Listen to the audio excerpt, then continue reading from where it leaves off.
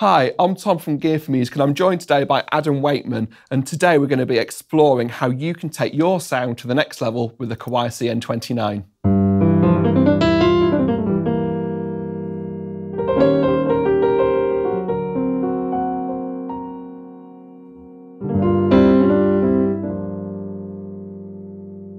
Pianos are renowned for having a beautiful sound on their acoustic instruments. So we're just going to have a look today at how that translates into their digital instruments. So how does this compare to an acoustic grand?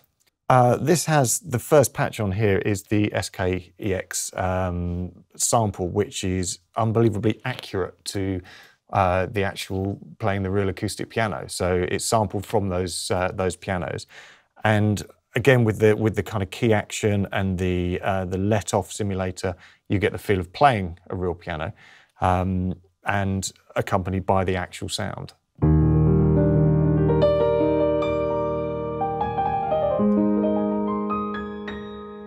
So the sound there is really quite a delicate sound, so it'd be ideal for playing in a more relaxed setting, wouldn't it? Yeah, it's a very it's a, it's a very mellow sound. It's a very kind of um, sensitive uh, sort of grand piano.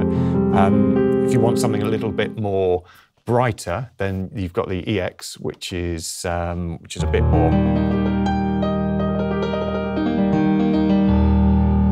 Uh, it's just a bit more kind of uh, yeah bright and kind of. So it's a bit more bold. So if you you sort of playing a bit more with an orchestra or something along those lines, so you really sort of stand out, and you can have both of those at home. Exactly, yeah, and it, and it's it's definitely. Uh, the, the thing that will just keep you wanting to play is to be able to switch between those sounds and you've still got the you can access the virtual technician uh, in the oled screen here and make adjustments to make it just that little bit more personal. So you can really refine the tone much more and sort of have much more control over it can't you? Yeah if you want to. I think that's the not everyone's going to want to do that but if you do want to delve into it, it's it's there if you want to. So you can just easily just switch on and get playing, and you know you've got a great sound under your fingers. I think that's the most important thing when you sit down in front of in front of the machine is you want the first sound to be one that you just want to sit and play, which is what it is.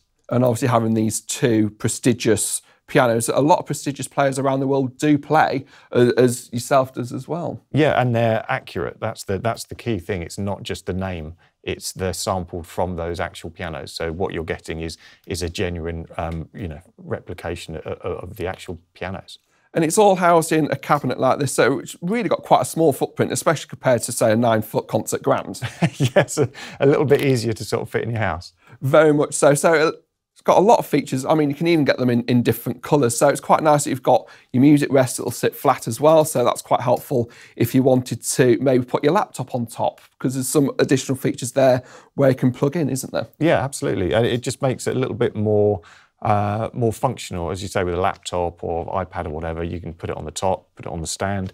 Um, and it's also on, with the going back to the keys, it's got this ivory touch feel, so it really does feel a little bit more like a like a grand piano. So for those people who want to do a bit of recording, but actually are probably foremost a, piano player, so you've actually got a good action and the feel rather than sort of having the more waterfall style keys that say a MIDI controller or something like that would have. Yeah, and again, if you, if you're a, you know if you if you're a, a pianist and you're learning, having that uh, accuracy to being so similar to a, a real grand piano makes all the difference and it has got the Bluetooth MIDI built in. So plug it into your computer, you can easily record that way, can't you, straight into a, a DAW or something.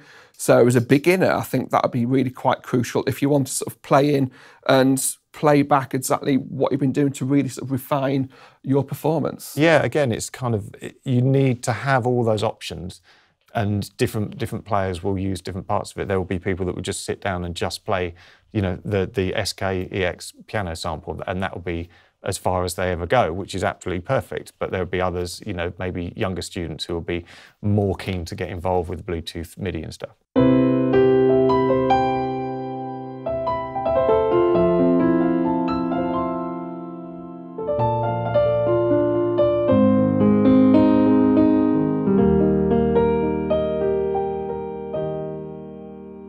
So it's really quite nice to hear the sort of faithfully recreated sounds because obviously that translates quite well through the Onkyo sound system.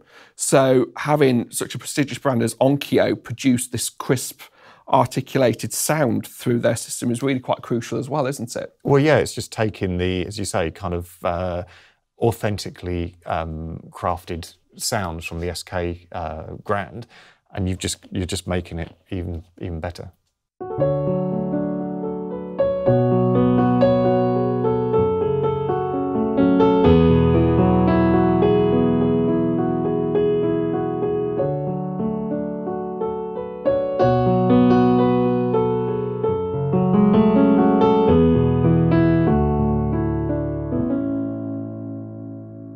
So, Adam, as a performer, how do you really feel that this can help develop your sound? I think when you've got the combination of, of the action, which makes it so easy to play, and the great sound, you're one step ahead already. And as I said before, if you just want to sit down and write or play or perform, the combination of those things uh, are what's important. So thank you for taking the time out to, to come and speak to us today because we really appreciate you talking through the Kawai CN29. If you've liked the video, please click like and subscribe. Thank you for watching.